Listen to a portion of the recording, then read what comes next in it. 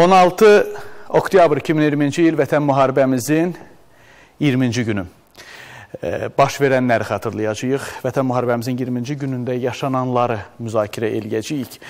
Xüsusi olaraq qeyd etmək istəyirəm ki, Vətən müharibəsi dönəmində rəşadətli ordumuz, igid əskərlərimiz döyüş meydanında düşmənlə savaşırdı. Amma düşmən mülki əhalimizi hədəf almışdı.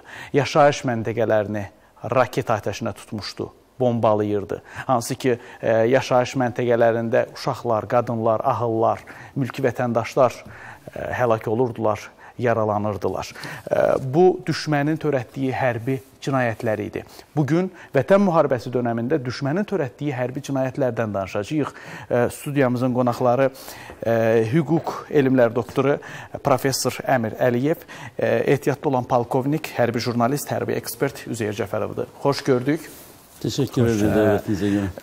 Üzeyir bəy, Əmir bəy, biz Vətən müharibəsi dönəmində dəfələrlə şahidi olduq ki, düşmən döyüş meydanında ordumuzla bacara bilmirdi.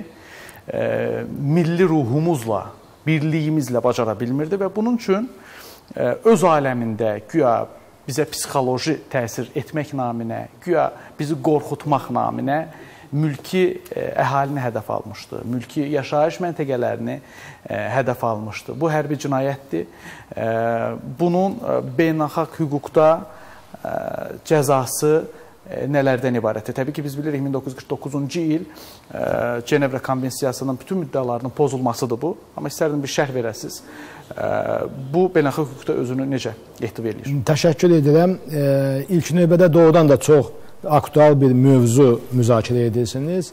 E, və e, mən qeyd etməliyəm ki, həqiqətən də e, Ermənistanın bütövlükdə bu müharibə cinayətlərini törətməsi həm birinci Qarabağ müharibəsində, həm də ikinci Vətən müharibəsində özünü açıq, aydın şəkildə biruzə verir. Burada söhbət nəinki 49-cu il Cenevra konvensiyaları, bütün beynəlxalq konvensiyaların pozulmasından söhbət gedir ki, bugün Ermənistan özünü bir növ e, göstərir ki, güya müxtəlif beynəlxalq konvensiyaların iştirakçısıdır, ancaq heç bir beynəlxalq konvensiyanın yerinə yetirilməsindən söhbət gedə bilməz. 44 günlük müharibədə siz çox yaxşı faktlar dediniz. Təkcə 30 mindən çox mərmi 250-yə yaxın raket dinc yaşayış məntəqələrinə atılmışdı. Söhbət müharibə meydanından getmir. Bəli. Siz bilirsiniz buna, bu ağır müharibə cinayətidir. Hansı ki 1949-cu il Cenevra konvensiyaları ilə e, deməli 4 Cenevra konvensiyasında müəyyənləşdirilir.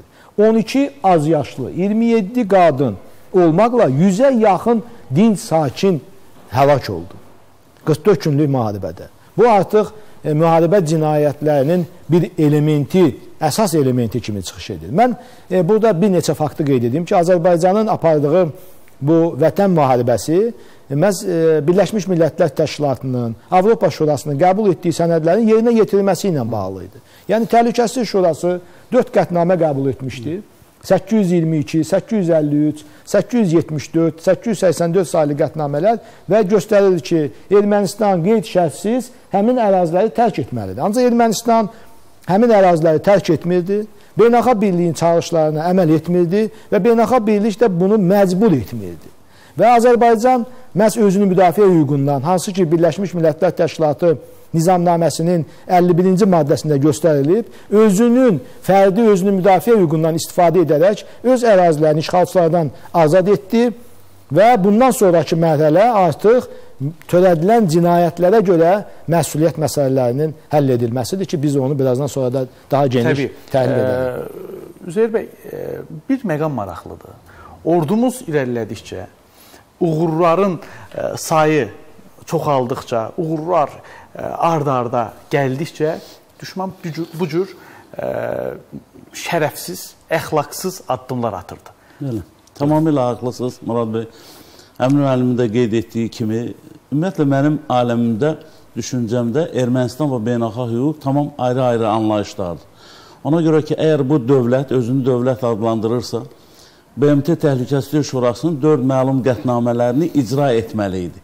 Və bunu böyük dövlətlər, hansılar ki, bu qətnaməyə səs vermişdilər, məcbur etməli idilər. Amma təəssüflər olsun ki, döyüş meydanında siz də bayaqlar qeyd elədiniz ki, deməli, müharibənin e, 20-ci günü onlar artıq sarsıdıcı zərbələr almışdılar. Və bu günləri Azərbaycan prezidentinin köməkçisi hörmətli Hikmət Hacıyevin rəhbərliyi altında Azərbaycanda akkreditə olunmuş diplomatik korpusun nümayəndələri deməli Talış kəndinə və Suqovuşan qəsəbəsinə yola düşüblər səhər tezdən. Bəli. Deməli bizim ilk uğurumuz məhz o istiqamətdə. Biz düzdür Füzulinin 4 kəndini işğaldan azad etdik. Sonrakı mərhələdə artıq cənub istiqamətindən biz Cəbrayıl istiqamətindən düşmənə sarsıdıcı zərbələr vurduq. Düşmən bunu gözləmirdi. 4 oktyabr tarixində biz Cəbrayıl şəhərini işğaldan azad etdik. Cənab prezident yəni bunu Azərbaycan xalqına elan etdi və artıq sabahki gün belə deyim, bu e, sabahki günün uğurlarının bir növ təməli qoyuldu. Düşmən də bundan yəni e, yaxasını qurtarmaq üçün başlayırdı ayrı-ayrı yaşayış məntəqələrimizi atəşə tutmağa. Təsəvvür edin ki, bu bu cinayət yox, ümumiyyətlə yəni insanlıqdan kənar bir addımdır. Sən döyüş meydanında sizin də qeyd etdiyiniz kimi, əgər uduzursansa, bunun bir yolu var. Əlvi qaldırırsan, kapitulyasiya aktına imza atırsan. Yox, sən əgər düşünürsən ki, Azərbaycanın e, şəhər və kəndlərini bombalamaqla, qadağan olunmuş silahlarla, atəşə tutmaqla nəyəsə nail olacaqsan, onlar çox böyük səhvə yol verirdilər. Baxın, görün, onlar bu ərəfədə Yevlaxı, Goranboyu, Bərdəni, Tərtəri, şəhərlər qalmadı. Yəni o e, Gəncəni. Ə, bəli. İndi Gəncəni, mən Əmin müəllim məni qabaqladı. Gəncəni Azərbaycanın ikinci ən böyük şəhərini bəli. atəşə tutmaq bu hələ e, yenə də dünya tarixində öz qiymətini almayıb və mən düşünürəm ki, inşallah bizim hüquqşünaslarımız bu məsələləri sona çatdıracaq və Ermənistanın o cinayətkar rəhbərliyi O cümlədən o separatçılar buna görə mütləq mənada cavab verməlidirlər. Biz vətəndaşlarımızın o vaxtsız dünyasını dəyişməsini, o cümlədən e, bu cinayətləri heç vaxt ermənilərə bağışlamayacaq. İndi təsəvvür edin ki, bu 20 gün ərzində onların xeyli sayda itkiləri oldu. Yəni e, bu 28 ildə onlar 3 e, yox 6 müdafiə mövqeyi yaratmışlar. Cənab Prezident Ali Başkomandan da öz çıxışlarında bunu xüsusi olaraq vurğuladı ki, bunlar özlərinə o qədər əmin idilər ki, Azərbaycan Silahlı Qüvvələri, Azərbaycan ordusu e, irəliyə gedə bilməz və güya bunlar bunun qarşısını ala biləcəklər, amma yanıldılar və başladılar sizin də bayaq qeyd etdiyiniz kimi bizim mülki insanlarımıza atəş açmağa. Əlbəttə ki, o faktlar Azərbaycan Baş Prokurorluğu və Hərbi Prokurorluq tərəfindən toplanılıb. Bəziləri artıq yekunlaşıb. Bu yaxınlarda Azərbaycan Baş Prokuroru hörmətli Kamran Əliyev mətbuata açıqlamasında bildirdi ki, deməli xeyli sayda işlər artıq yekun mərhələsindədir. Çünki e, beynəlxalq arenaya çıxmaq üçün, məhkəmələrə çıxmaq üçün dəlillərimiz, sübutlarımız kifayət qədər ciddi olmalıdır ki, biz onları e, inandıra bilək. Hətta baxın, e, hörmətli tamaşaçılar və Əmir müəllim yaxşı xatırlayırlar ki, 4 qətnamə, BMT qətnaməsi Azərbaycana e, deməli o əraziləri işğaldan azad etmək üçün e, bu hüququ tanısa da təəssüflər olsun ki, böyük güclər yəni bunu sanki görməməzlikdən gəlirdilər. Hətta ATƏT Minsk qrupunun həmsədrləri də hansılar ki bu iş üçün yəni e, məsul e, məsuliyyət daşıyırdılar. Təəssüflər olsun ki, hətta onlar da bu məsələlərlə məşğul olmurdular. Bir sözlə Ermənistanın cinayətləri həm Əmin müəllim qeyd etdiyi kimi birinci Qarabağ savaşında, həm ikinci Vətən savaşımızda kifayət qədərdir. Biz bunu sənədləşdirməliyik. Onlar buna görə mütləq mənada cəza e, almalıdırlar. Həm maddi, həm də hüquqi e, məsuliyyət daşımalıdırlar. E, cəza ilə e, cəza almalıdırlar deyə bir fikirlə bitirdiniz Üzeyir bəy. Yəni. Əmir bəy, e, bizim kifayət qədər faktlarımız var, sübutlarımız var. Həm e, zərər çəkənlər e, və onların ailələri canlı e, şahidlərdir, video materiallar var və s. və əlaxır cəzaları nə olacaq? Bu mən, beynəlxalq hüquq normasında, ə, bütün dünya hüquq müstəvisində onların cəzası hansı formada veriləcək, hansı cəzalar ola bilər? Mən təşəkkür edirəm ilk növbədə və ə, hörmətli Üzeyir müəllim qeyd etdi. Yəni bu törədilən cinayətlər təqribən belə desək e, bir mərhələlərə bölsək 4 istiqamət. Birincisi ümumiyyətlə işğal dövründə, işğal zamanı yəni Ermənistan Azərbaycan ərazilərini işğal edərkən törədilən cinayətlərdir. İşğal vaxtı törədilən cinayətlərdir. İşğaldan azad edilən zaman törədilən cinayətlərdir və bu gün davam edən Bəli. cinayətlər. Yəni bu gün də 10 noyabr sazişindən sonra Ermənistan yenidən öz silahlı qüvvələrini gətirib Azərbaycan ərazilərində yerləşdirmək, Azərbaycan sərhədini pozmaq və digər istiqamətlərdə bunlar törədilən cinayətlərdir. Yəni bunlar da cinayətlər. Mina xəritələrinin təqdim Bəli, mina xəritələrinin tə təqdim edilməməsi və yaxud 822, 853 bir hər dəfə xatırladırıq. 874, 884 saylı qətnamələrdə məcburi köçkünlərin hüquqları əks olunub. Şərəfli və təhlükəsiz qayıdış. Bunu BMT yazıb. Bunu biz qeyd etməmişik. BMT Təhlükəsizlik Şurasının Üzeyir müəllim çox haqlı dedi. O səs verən dövlətləri qeyd ediblər. Şərəfli qayıdış nə deməkdir? Şərəfli qayıdış mənim əvvəlki vəziyyətimin statusumun bərpasıdır. Bəli. Təhlükəsiz nə deməkdir? Mən heç bir təhlükə ilə rastlaşmayacağam. Ancaq bu gün ora getmək mümkündürmü? Orada bir bina yoxdur. Bir insanın yaşaması üçün heç bir şərait yoxdur. Eyni zamanda orada minalar, digər partlayıcı maddələr bastırılıb. O xəritəni verir, ancaq onu düz təqdim etmir. Siz təsəvvür 25 faizi həqiqətə Bəli, 25 faizi həqiqətdir. Azərbaycan öhdəliyin yerinə yetirir, Ermənistan yerinə yetirmir. Hətta Ermənistan bunu etiraf edir ki, o onu düz təqdim etməyib. Siz təsəvvür edin ki, yəni bu cinayətlər nə qədər ə, hər istiqamətdədir. Əlbəttə mən ə, bunları ümumiyyətlə beynəlxalq hüquqda bir neçə istiqamətdə təsnifləşdirilir. Birinci ən böyük cinayət təcavüz cinayətidir. Yəni təcavüz ərazilərin işğalıdır. Yəni Azərbaycan ərazisinin 20%-ə yaxın işğal edilmişdi və bu müvafiq beynəlxalq sənədlərin qərarlarında da, müvafiq sənədlərində də əks olunmuşdu və əlbəttə bu müddət e, 30 ilə yaxın müddətdə o orada digər cinayətlər başladı törədilməyə. O cinayətlər əlbəttə e, ora əlavə olundu soyqunun cinayəti, Xocalıda törədilən, e, Xocalıdan öncə Qaradağlı kəndinə törədilən, Xocalıdan sonra Ağdaban kəndinə törədilən soyqırımlar. Bilirsiniz, bunlar silsilədir. 20-ci əsrin əvvəllərindən başlamış, SSR dövründə və ondan sonrakı dövrdə törədilən cinayətlərin bir ardıcıllığı idi, gedirdi. Yəni bunlar adi xarakter kəsb etmirdi və e, çox e, Üzeyir müəllimlə e, sözünü xüsusilə cəzasızlıq mühitinin olması, yəni həm insanı, həm dövləti yeni cinayət törətməyə sövq edir. Məsələn, cəzasız qalıb 30 il müddətində heç bir cəza verilməyib, çəkindirilməyib və əlbəttə bu cinayətlər törətməkdə davam edəcək. Sonra soyqırım cinayəti, insanlıq əleyhinə cinayətlər və bu gün sizin qeyd etdiyiniz o müharibə cinayətləri. Hərbi cinayətlər deyilir. Müharibə cinayətləri əlbəttə çox istiqamətlidir və burada deməli qanunsuz olaraq mülkiyyətin məhv edilməsi, ekoloji böhranın yaradılması, insanların girov götürülməsi, deməli qanunsuz məskunlaşma. Siz təsəvvür edin, mən bir faktı qeyd edim ki, bu beynəlxalq təşkilatların öz sənədlərində əks olunub. 23 minə yaxın insan qanunsuz gəlib e, deməli həmin regionlarda yerləşdirilmişdi. 23 min. Bu birisi qanunsuz məskunlaşma ağır müharibə cinayətidir. Bu gün 10 noyabr sazişində də qeyd olunur ki, orada olan e, qayıdan e, e, şəxslər yalnız e, qaçqınların işləri üzrə Ali Komissarlığın mandatı altında. Yəni gəlib ora yerləşib bu araşdırılacaq. Bu əvvəl orada yaşayıbmı? Nə vaxt gəlib ora? Lap yaşasa belə hansı beynəlxalq cinayətləri törədib? Nə işlə məşğul olub? Yəni bunlar e, əlbəttə ki, bu gün e, həmin ərazidə sülhməramlar yerləşib. Müəyyən müddət əlbəttə bunlar hamısı araşdırılacaq və törədilən cinayətlər həmin şəxslər ilə bağlı e, ciddi şəkildə məsuliyyətə cəlb ediləcək. Və burada e, bir məsələni də mən xüsusi qeyd etmək istəyirəm. E, bu məsuliyyət ümumiyyətlə beynəlxalq praktikada iki istiqamətdə qurulur. Bir dövlətin özünün məsuliyyəti. Yəni Ermənistan Bir də törədilən o cinayətlərə görə fiziki şəxslərin məsuliyyəti. Yəni Ermənistan dövlətinin o dövrdə rəhbərləri Sarkisyan, Köçəryan, Levon Petrosyan törədilən o soyqırım cinayəti, təcavüz cinayəti, bunlar birbaşa məsuliyyət daşıyırlar. Digər hərbi e, deməli rəhbərlikdə olan şəxslər ki, bilavasitə bu e, beynəlxalq cinayətləri törədiblər.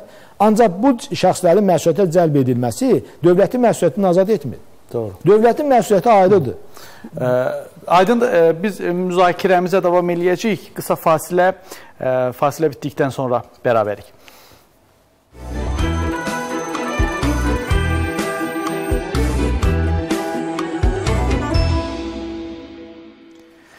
Birlikdə gücü layihəsində siz davam edirik. Biz düşmənin törətdiyi hərbi cinayətlərdən danışırıq. Studiyamızın ə, e, qonaqları ehtiyatda olan polkovnik, hərbi jurnalist, hərbi ekspert Üzeyir Cəfərov, hüquq elmlər doktoru professor Əmir Əliyevdir. Ə, e, Üzeyir bəy, sizlə davam eləyək ki, ə, e, düşmən Vətən müharibəsi dövründə muzluları ə, öz hərbi birləşmələrinin daxil etdi.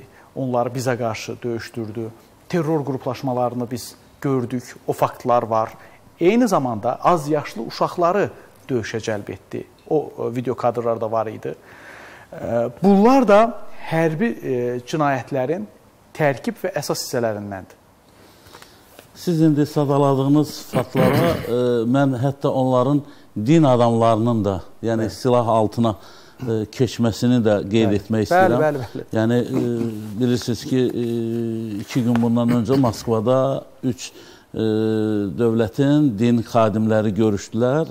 Kirilin dəvəti ilə Allah şükür Paşazadə və Qərigen Moskvada görüşdülər.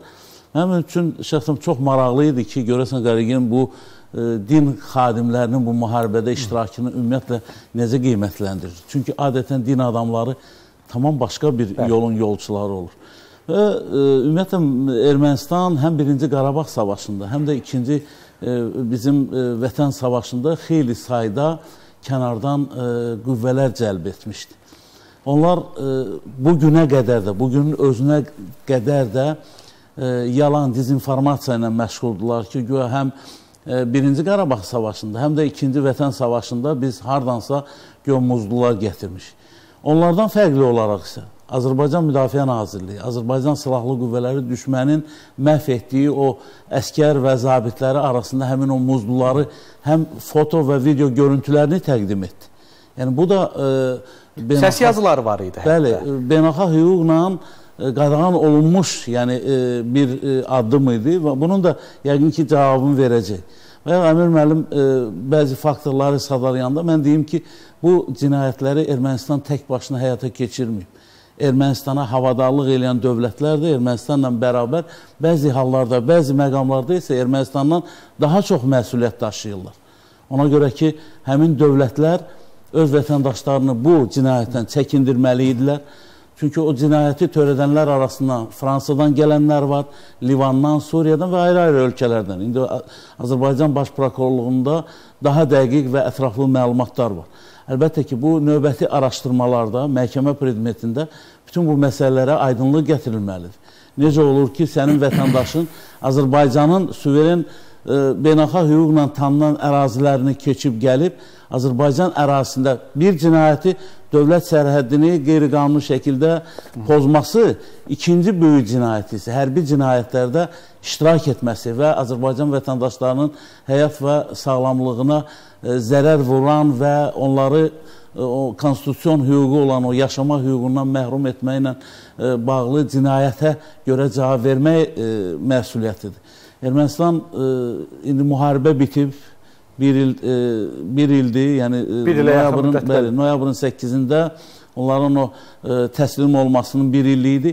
Mən hesab edirəm ki, növbəti illərdə indi haqqında danışdığımız hörmətli Əmir müəllimin də qeyd etdiyi məsələlərlə bağlı hüquqi müstəvidə Ermənistan üçün çox ağır günlər başlayacaq. Nəyə görə deyirəm ağır günlər? Ona görə ki, bu sənədlər artıq beynəlxalq ə, müstəvidə, yəni ə, təqdim olunacaq və onlar buna görə ə, cavab verməli olacaqlar. Baxın görün, bu boyda cinayətin qarşısında onlar müxtəlif instansiyalara müraciətlər eləyirlər. Azərbaycan deyir, oğru elə qışqırdı ki, doğrunun bağrı yarıldı.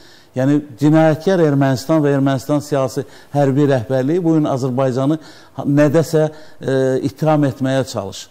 E, fürsətdən istifadə edib hörmətli müradlarım bir şeyi qeyd etmək istəyirəm ki, 44 günlük Vətən savaşında məhz Ermənistanın yalanları uzbatından bilirsiniz ki, Paşinyanın Ermənistan e, Ermənistan baş naziri Paşinyanın Fransanın prezidenti Emmanuel Macrona verdiyi yalan məlumat idi ki, Fransa prezidentini çox çıxılmaz bir vəziyyətdə qoydu. Yəni yadınıza gəlirsə, Macron orada ə, çıxışların birində yo biz burada hansısa terrorist dəstələrdən istifadə edirik, fikrini səsləndirdi.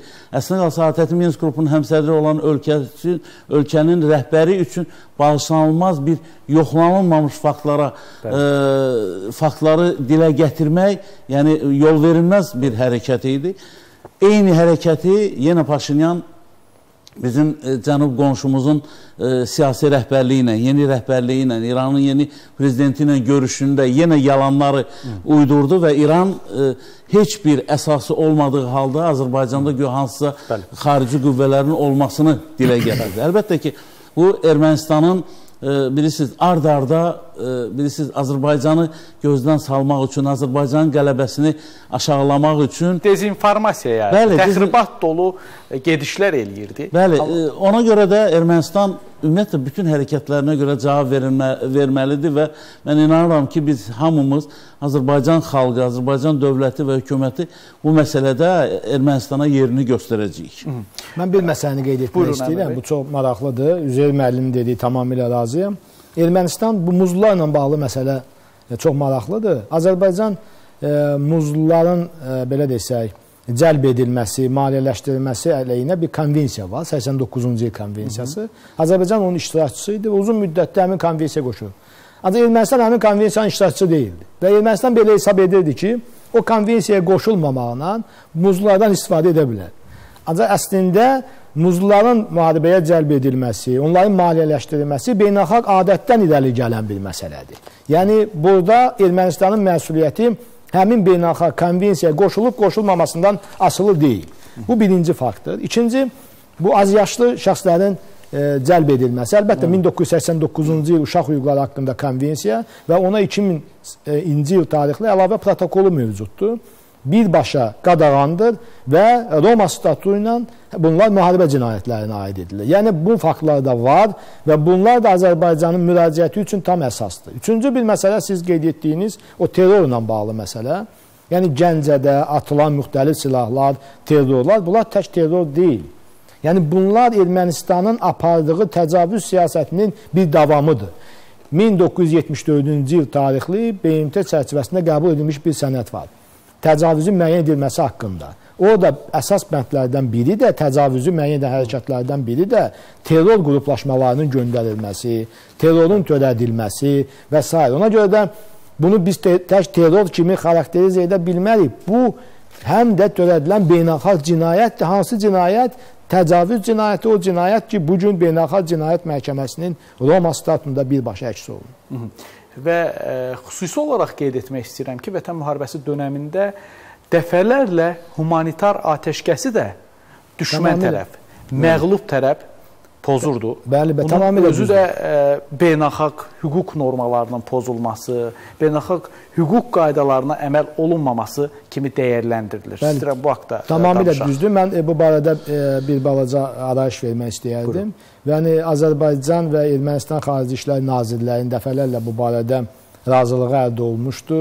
E, müəyyən vasitəçilərin iştirakı ilə və bu proses dəfələrlə pozulmuşdu. Orada olan əsirlərin dəyişdirilməsi, yaralıların dəyişdirilməsi, o, o cümlədən həlak olmuş şəxslərin götürülməsi ilə bağlı məsələ Ermənistan tərəfindən ciddi şəkildə pozulurdu. Hətta bu məsələlər deməli beynəlxalq qeyri-hökumət təşkilatları olan Amnesty International, Human Rights Watch təşkilatının hesabatlarının özündə də əks olunmuşdur ki, Ermənistan hansı silahlardan istifadə edir və humanitar o atəşkəs dövründə olan e, deməli şərtlərə əməl etmir. Yəni bunlar özü də bir müharibə cinayətinin tərkib hissəsidir. İndi siz təsəvvür edin, baxın, görün, Ermənistan nə qədər müharibə cinayəti törədi. Biz müharibə cinayətləri çox genişdir. Bu bir cinayət deyil. Hı. Yəni çox böyükdür. Lüzumsuz e, deməli obyektlərin dağıdılması, siz öncə dediniz, e, Üzeyir müəllim də qeyd etdi, Gəncəyə, Bərdəyə və s. Ancaq siz təzə indi başqa bir hədəfdə götürmüşdü. Mingəçevir Mingəçeviri vur. Niyə? Çünki orada böyük su elektrik stansiyası yerləşir. Bəli. Onun dağıdılması çox böyük fəlakətə gətirib çıxara bilər. Yəni indi o baxın görün hansı metodlardan istifadə edir. Edirdi. Ona görə də hesab edirəm ki, yəni bu gün Ermənistanın törətdiyi o müharibə cinayətləri çox böyük bir siyahıdır. Çox böyük bir geniş siyahıdır. Bir mənalı. Buyurun Üzeyir bəy. Deməli, e, bir faktı da qeyd edeyim ki, oktyabrın 10-unda yadınıza gəlirsə, Moskvada, deməli, Moskvanın təşəbbüsü ilə tərəflər bir araya gəldilər və humanitar atəşkəs haqqında razılıq əldə olundu. Bu humanitar atəşkəs daha çox ermənilərə lazım idi. Görün bunların ağılsızlığı hansı səviyyədə idi ki, Bəli. biz onlara şərait yaradırdıq ki, öz meyidlərini və yaxud da ki, o əsirlərini e, geri alsınlar, yaralıları e, döyüş meydanından çıxarsınlar. Onlar yenə də ağılsızlıq eləyib Azərbaycan silahlı qüvvələrinin e, mövqələrinə və daha çox mülki obyektlərə zərbələr endirməyə cəhdlər edirdilər. Əlbəttə ki, Bu birinci dəfə deyil. Yadınıza gəlirsə, birinci Qarabağ savaşında Tehranda görüş zamanı Əmin müəllim yaxşı xatırlayır. Bəli, yəni biz orada e, deməli e, ermənilərlə danışıq apardığımız bir dövrdə onlar Şuşanı Hı. işğal etdilər. Növbəti ikinci e, Qarabağ savaşında da, yəni dəfələrlə Azərbaycan e, prezidenti, silahlı qüvvələrin ali baş komandanı Ermənistan tərəfə müraciət elədi ki, siz konkret müddət deyin, nə vaxtı hansı ərazidən çıxırsınız, biz dərhal müharibəni dayandırırıq. Amma bu, o ataların bir sözü var, deyir, sonraki peşmançılıq fayda verməz. Paşinyan indi-indi etiraflar eləyir ki, kaş o vaxtı biz 7 rayonu azad eləyəydik, kaş qeyd onu, bəli, qeyd şərsiz. Əslinə qalsa, bilirsiniz, e, artıq o qədər cinayətlər törədiblər. Biz indi beynəlxalq cinayətdən danışırıq, beynəlxalq hüquqdan danışırıq. Baxın, görün, öz içərisində bu günləri Ermənistanda Kaçaryana, yəni keçmiş prezidentə cinayət işi açılıb. Sarkisyana cinayət işi açılıb. Onların o Tanayan həbsdə qalıb. İndi onu deyəcəkdim. Siz məni qabaqladınız. Təsəvvür eləyin ki, Murad bəy, deməli o Tanayan ki, hansı ki okeanın o tayından hədə qorxular gəlirdi Azərbaycana. Biz yeni ərazilər alacağıq. Əlbəttə ki, bunlar hamısı blef idi. Bu Ermənistanın o xislətinə uyğun hərəkətlər idi. Biz beynəlxalq cinayətlərdən danışırıq. Eyni zamanda bunlar öz dövlətinin içərisində də elə bir cinayətləri öz ə, xalqına qarşı, öz xalqına bəli, qarşı, öz xalqına bəli, qarşı bəli, bəli. müharibəyə sürükləmək, bəli. o təbliğatı aparmaq. Üzeyir mənim öncə dedi, o irqi ayrı seçkili ilə bağlı 65-ci konvensiyasına. Bəli. Yəni Azərbaycan müraciət edib ki, bəli. bu siyasətin aparılması, anti-müsəlman, anti-Azərbaycan siyasətinin aparılması özü çox ciddi e, beynəlxalq hüquq pozuntusudur. Və e, torpaqlarımız 30 e, ilə yaxın işğalda olduğu müddətdə Sarkisyan və e, Kaçaryan e, siyasi bloku, siyasi birləşmələri xalqlarını düşünməyiblər, erməni xalqını düşünməyiblər, öz ciblərini düşünüblər. O ərazilərdə terrorçular yerləşdiriblər, narkotrafiklə məşğul olublar və ona görə də Vətən müharibəmiz dönəmində onlar narahat idi və onlar eyfariyaya qapılmışdılar ki, onların o pul rıçaqları, onların o ə, belə deyək, narkotrafik rıçaqları Bəli. əldən çıxır. Bu da bir faktdır. vacib məqamı qeyd edeyim. Baxın, ə, müharibə bir ildir də belə deyək, başa çatıb darmadağın olunmuş Ermənistan silahlı qüvvələri və bərbad vəziyyətdə olan Ermənistan iqtisadiyyatı. Mən bunu paralel aparmaq istəyirəm. Azərbaycan prezidenti öz çıxışında qeyd elədi ki, biz Sərkisyan, Kaçaryan deməli ordusunu məğlub, məğlub etmişik. Çünki bu 28 il ərzində onlar ordu quruculuğu ilə məşğuldur. Bu bədbəxt Paşinyan belə deyildi, 2 ildir də e, hakimiyyətə gəlib. Hərçənd, yəni bu da onlardan fərqlənmir, amma Yəni bu illər ərzində bunlar yo hansısa ordu qurmuşdular, amma Azərbaycan ordusunun, Azərbaycan oğullarının iradəsi qarşısında, Azərbaycan oğullarının qəti, qətiyyəti qarşısında mümkün deyildi onlar duruş gətirə bilsinlər. Kim olur olsun, yəni hansı silahlar olur olsun. Çünki Azərbaycan oğulları 1994-cü ildən bu e, ötən il sentyabrın 27-sinə qədər gecə-gündüz hava şəraitinə baxmayaraq Yəni e, əvvəllər biz təlimləri gündüz saatlarında keçirirdik, belə deyək, amma sonrakı mərhələlərdə, son illərdə gecə təlimləri, özdə çoxsaylı, yəni bütün qoşun e, və hərbi hissə e, birləşmələrin iştirakı ilə biz təlimlər keçirirdik. Bizim əsas məqsədimiz 1994-cü ildən, deməli, ötən ilə ə, qədər məhz torpaqlarımızı işğaldan azad etmək idi. Yəni Ermənistan və ona havadarlıq elənlər indi e, yenə də hansısa o bayaqları siz dediniz, revanşist hisslərlə yəni yaşayırlar. Əbəs yerə, yəni onlar diqqətli olmalıdırlar. Çünki Azərbaycan ordusu tam fərqli bir durumdadır. Çünki bu bir il ərzində biz daha möhtəbər tərəfdaşlarımızla, qardaşlarımızla təlimlər keçirmişik. Azərbaycan, Türkiyə, Azərbaycan, Pakistan, Azərbaycan, Türkiyə, Gürcüstan e, deməli təlimləri keçirilib. Ordumuz bu il müddət bu il ərzində silahlı qüvvələrimiz yəni xeyli inkişaf Bəli. yolu keçib. Yeni silahlar alınıb. Yəni Ermənistan bunu çox gözəl bilir. o cümlədən Ermənistana havadarlıq edən dövlətlər də çox gözəl bilirlər ki, Azərbaycan bu bir il ərzində kifayət qədər ciddi silahlar əldə edib. Biz indi e, başqa ölkələrdən alınan silahları deyirik. Bizim özümüzün Müdafiə Sənayesi Nazirliyimizin xətti ilə daha möhtəşəm silahlar buraxılır. Təbii. Bizim öz mütəxəssislərimiz, mən bu günlərdə həmin o müəssisələrin birində oldum və öz gözümlə gördüm Azərbaycan e, belə deyək də e, peşəkarları 21-ci əsrin tələblərinə cavab verən hansı müasir pilotsuz uçuş aparatları e, hazırlayıblar. Daha yeniləri. Doğru. E, tamamilə doğru vurğuluyursunuz. E, biz haqq işimizdə, haqq yolumuzda qalib gəldiyimiz üçün qalibiyyətin eyfariyasına qapılmamışıq. Qalib gələndən bu günə daha da güclənirik, daha da oyağıq, daha da təlimlər keçiririk ki, daha da güclü qalaq. Fasilə fasilədən sonra bərabərik.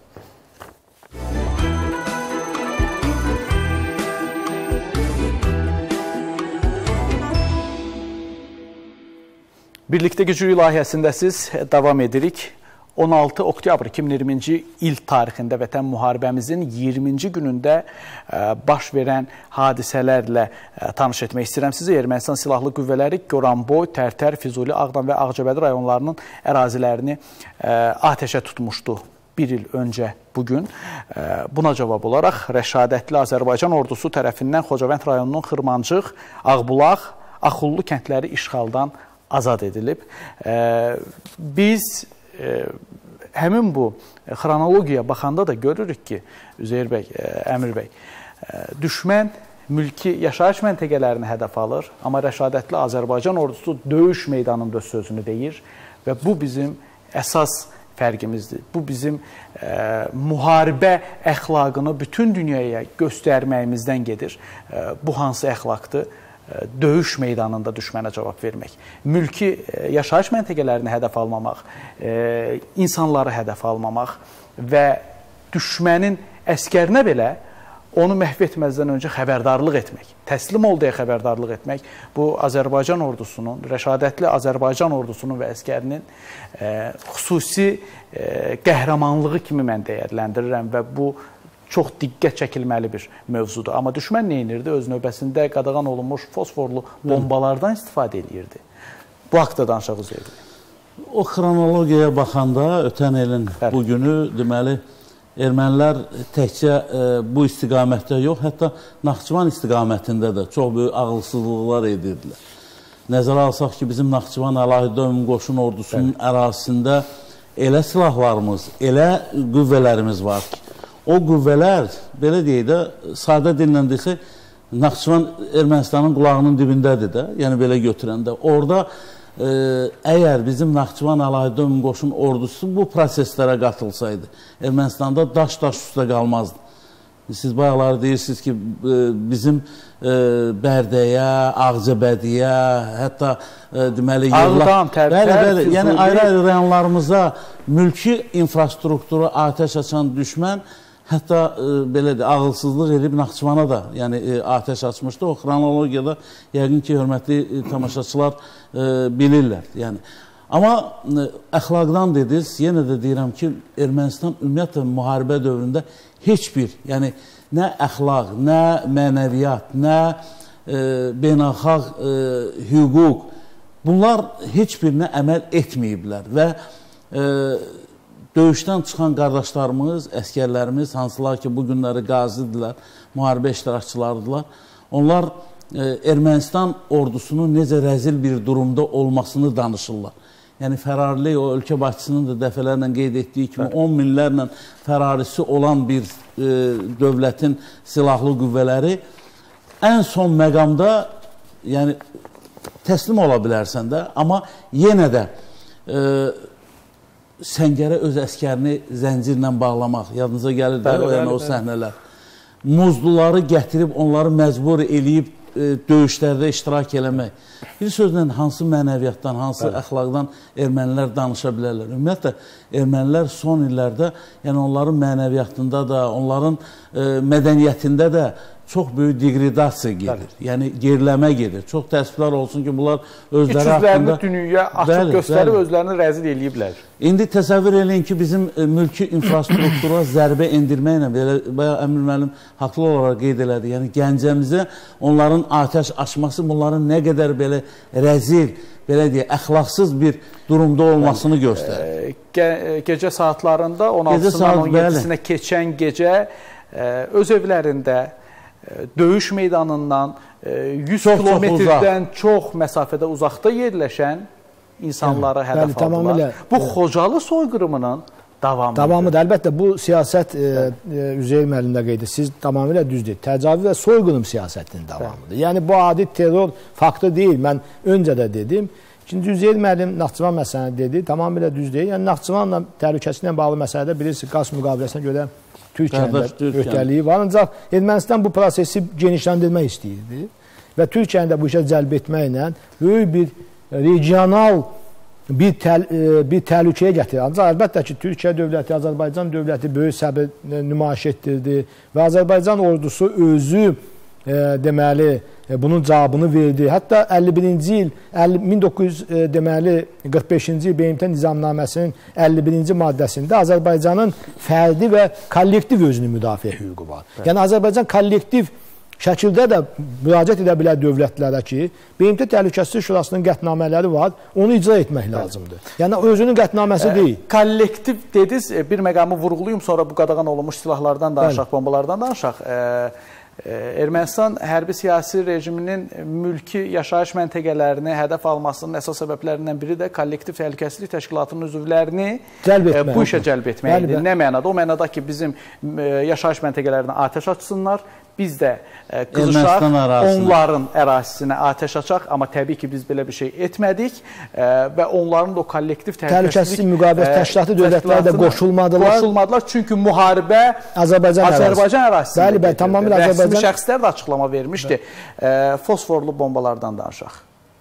Mən xüsusən bu fosforlu bombalarla bağlı mən qeyd edim ki, bunlar qadağan olunmuş silah növlərinə aiddir və müvafiq konvensiyalar deməli 54-cü konvensiyası və ona əlavə protokolu var. Həmin protokol belə silahların işlədilməsini qadağan edir. Mən bir daha qayıdıram ki, ümumiyyətlə qadağan olunmuş silahlardan istifadə ilə əlaqədar dövlətin beynəlxalq konvensiyada iştirakı zəruri deyil. Vacib deyil. Ona görə vacib deyil ki, bunlar beynəlxalq adət normaları ilə tənzimlənir. Biz monitorda da görürük bombaların beynəlxalq adət normaları ilə tənzimlənir. 49-cu ekoloji terrordur həm də. Bəli, 49-cu Cenevra konvensiyaları yoxudur.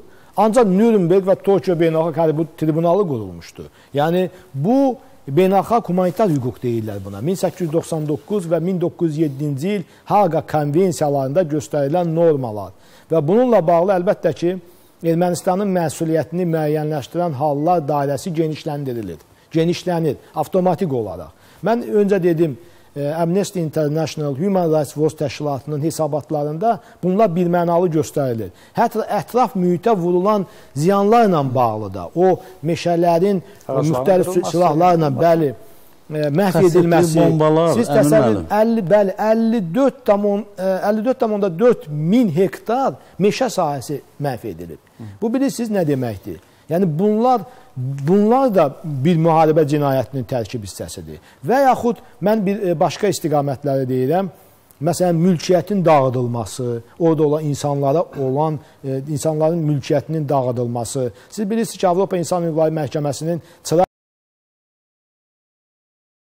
Ermənistana qarşı qərarı var. O deməli Çıraqov və digər Ermənistana qarşı qərarında birbaşa Ermənistanın məsuliyyəti deməli o e, ailənin mülkiyyətinin dağılmasına görə Ermənistanın birbaşa məsuliyyəti müəyyənləşdirilib. Yəni oradakı törədilən hadisələrə görə o e, mülkiyyət hüququnun pozulmasına görə Ermənistan birbaşa məsuliyyət daşıyır. Ondan sonra Muradyan e, Zalyan Ermənistana qarşı işində də deməli Ermənistana qarşı işində də Avropa məhkəməsi göstərilib ki, oradakı törədilən hadisələrə görə Ermənistan dövləti məsuliyyət daşıyır. Çünki o ərazini Ermənistan işğal etmişdi və Ermənistan işğal edib nə, nə etmişdi? Kəlbəcərin, Laçının, Ağdamın, Füzulinin, Zəngilan, Cəbrayıl, Qubatlının adlarını belə dəyişmişdi. Bəli. Cənab prezidentin qeyd etdiyi kimi çox eybəcər bir adlar qoymuşdu. Bu ərazini dəyişib, inzibati ərazi bölgüsünü dəyişib, işğal edilmiş Təhlükəsizlik Şurasının qətnaməsində Azərbaycan əraziləri kimi tanınan BMT Baş Məclisinin 2008-ci il təsəvvür edin 1993-cü ildə qətnamə qəbul edilib. 2008-ci ildə BMT Baş Məclisi bir daha o Təhlükəsizlik Şurasının qətnamələrini xatırladır və göstərir ki, həmin qətnamələr yerinə yetirilməlidir. Ermənistan isə edir? Həmin ərazilərdə adları dəyişir. Tarix mədəniyyət abidələri ilə bağlı Üzeyl müəllim qeyd etdi, siz qeyd etdiniz. Ən böyük dəhşətli faktlar bundadır. Mən bir məsələni qeyd edim. Bu yaxınlarda biz Elə Bakı, hesabat bəli. Bakı Dövlət Universiteti e, belə bir hesabat e, kompleks beynəlxalq hesabat hazırladı və bir neçə gün öncə bunu bu hesabatın təqdimatı keçirildi. Hı -hı. Və bu hesabatın ən böyük üstünlüklərindən biri ondan ibarətdir ki, burada çox tanınmış xarici alimlər iştirak edir çox tanınmış xarici alimlər, hüquqşünas alimlər, beynəlxalq hüquqçular Bakı Dövlət Universitetinin rəhbərliyi cəlb etmişdi. Çox təşəkkür edirəm. Bunları çap etdilər, dünyaya yaydılar və biz hüquqşünas alimlər də bu prosesin, bu hesabatın hazırlanmasında xarici alimlərlə iştirak etdik. Burada biz e, tarixi mədəniyyət abidələri məsələsinə xüsusi önəm vermişik. Yəni nə qədər Azərbaycanda tarixi mədəniyyət abidələri var. Nazirlər Kabinetinin qərarı var. Beynəlxalq əhəmiyyətli, respublika əhəmiyyətli və yerli əhəmiyyətli. Onlar ingilis dilində ə, demək yayıldı. Ermənistanın törədildiyi məcburi köçkünlərin ayrı-ayrı hüquqları, məsələn, yaşamaq hüququ, ayrı seçkiliyə məruz qalmamaq hüququ, azadlıq hüququ, təhsil hüququ, sağlamlığın qorunması hüququ və o cümlədən mədəni hüquqlar və onun tərkib hissəsi olan dem tarix və mədəniyyət abidələrinin dağıdılması ilə bağlı bir məsələ. Burada mən qeyd edim ki, Ermənistan nə idi? Tarix mədəniyyət abidələrini ya dağıdırdı, ya da onu belə desək, e, faslaşdırırdı açıq şəkildə. Və burada da bəzi e, deməli qonşu dövlət İranın bəzi e, deməli şirkətləri bu işə cəlb olunurdu Hı -hı. və orada onlar faslaşdırılır ki, halbuki heç bunun aidiyyəti yoxdur. və eyni zamanda Alban e, mədəniyyətinə məxsus olan o kilsələr bu gün erməniləşdirmə istiqamət. Halbuki bunu etmək də mümkün deyil. Azıq mağarasında bir qondarma e, belə desək, o e, qazıntı e, arxeoloji qazıntılar aparır və s. Halbuki mühüm beynəlxalq konvensiyalarla işğal dövründə hər hansı bir qazıntı, arxeoloji qazıntıların aparılması qəti qadağandır. Mən deyim ki, bu e, hesabat ümumiyyətlə e, bütün beynəlxalq təşkilatlara göndər göndəriləcək. Burada diplomatik nümayəndəliklər dəvət olunmuşdu. Eyni zamanda mən hesab edirəm ki, burada Ermənistanın məsuliyyəti ilə bağlı məsələlər çox ciddi şəkildə qoyulub. Bu gün təsəvvür edin. Mən bir məsələni də e, biz e, həmişə qaldırırıq. Bu məsələ ondan ibarətdir ki, bu gün ermənilər gəlir Xocavənddə, nə Kəlbəcərdə heç özlərinə aid olmayan tarixi mədəniyyət abidələrini gəzirlər. Orada bir neçə gün qalır. Az Azərbaycan İrəvanda və qədim Azərbaycan torpaqlarında siz bilirsiniz nə qədər tarixi mədəniyyət abidələri mövcuddur. Və bu gün tarixi mədəniyyət abidələrinə baş çəkmələr həyata keçirilməlidir. UNESCO, ISESCO, Birləşmiş Millətlər Təşkilatı Digər beynəlxalq təşkilatlar bizim e, deməli müraciətlərimizi nəzərə almalıdırlar. Doğru. Bizim ora baş çək, yəni bizim ora ziyarətimizi tanımalıdırlar. Tarix mədəniyyət abidələrini qorumalıdırlar İrəvanda olan, digər demə ərazilərdə olan e, bugünkü Ermənistan adlandırılan ərazidə ki, uzun müddət ə, orada deməli Azərbaycan əraziləri olub. Azərbaycanlılar yaşayır. İrəvandır və vadır. Axırıncı siz Bəli. bilirsiniz, deportasiyada 250 min Azərbaycanlı 2 ayın içində orada köçürüldü. Bu gün e, Ermənistanda bir Azərbaycanlı yaşamır. 99,9% ermənidən, ancaq Azərbaycanda 10 minlərlə erməni yaşayır. Biz e, tolerantıq. Biz yəni. e, hərbi siyasi rejimlə mübarizəmiz ola bilər. Onların bizə təcavüzü, onların bizə ərazi iddiası olduğuna görə onlarla savaşa da bilərik. Amma bizim əhali ilə, sadə xalqla işimiz yoxdur. Bu da bizim əsas fərqimizdir. Son olaraq qadağan olunmuş silahlarla bağlı fikrinizi bildirin, yekunlaşdıraq. Müəllim, mən bir şey qeyd edeyim ki, Əmir müəllim e, ətraflı o silahlar haqqında danışdı. Burada qadağan olunmuş kasetli bombalardan da istifadə edirdilər Ermənistan tərəfi. Yəni adətən yəni e, döyüş meydanında böyük iflasla üzvüyüz qalan Ermənistan silahlı qüvvələri məcburiyyət qarşısında qalıb həmin fosfor silahlardan, bombalardan, həm də o qadağan olunmuş kaset bombalarından istifadə edirdi. Əlbəttə ki, bunların da e, cavabı verilməlidir Ermənistan tərəfindən. Və açığın deyim ki, Əmir müəllim deyəndə mənim bir fikir də yenədən e, ağlıma gəldi ki, beynəlxalq təşkilatlar, beynəlxalq qurumlar e, çox zəif çalışırlar bu məsələlərdə əmrən. Mənim yəni e, subyektiv fikrim Biz, olsa da Biz deməm, onları hərəkətə gətirməliyik. Bəli. Bəli. Bayaqları verilişin əvvəlində də biz qeyd etdik ki, 28 il ərzində BMT e, deməli Təhlükəsizlik Şurasının 4 qətnaməsi icra olunmurdu, amma Azərbaycan oğulları, Bəli. Azərbaycan xalqı öz e, rəhbərliyi ilə bir yerdə 44 günə, yəni həmin o qətnamələri icra elədi və dünyaya bir nümunə göstərdi. Əlbəttə ki, bir daha mən e, şəhidlərimizə Allahdan rəhmət diləyirəm. Qazilərimizə Allah, Allah can sağlığı versin və Tanrı silahlı qüvvələrimizi, ordumuzu və Azərbaycan xalqını qorusun. Amin. E, təşəkkür edirəm gəldiyiniz üçün, dəyərli, lazımlı, vacib məqamları müzakirə etdiyiniz üçün. Qeyd edeyim ki, e, hüquq elmləri doktoru professor Əmir Əliyev qonağımız idi. Ehtiyatda olan polkovnik, hərbi jurnalist, hərbi ekspert Üzeyir Cəfərov qonağımız idi. E, biz düşmənin hərbi cinayətlərindən danışdıq. Qismət olsa sabah səhər saat 9-da ən baxımlı kanalda yenidən görüşəcəyik. Görüşəcəyik çünki 17 oktyabr Füzulinin işğaldan azad olunması günüdür və 16-sından 17-sinə keçən gecə düşmənin e, Gəncəyə raketlə vurması haqqında danışacağıq. E, belə, bugünlük bu qədər. Sonda təşəkkürlərim Baqozaya olacaq. Orijinal, dəbli, əsl kişi geyimləri Baqozadadır. Siz də Baqozaya üst tutub zövqünüzə uyğun geyimləri alıb ən şıx bəy ola bilərsiniz. Özünüzü qoruyun. Sabah inşallah görüşərik. Allah amanında.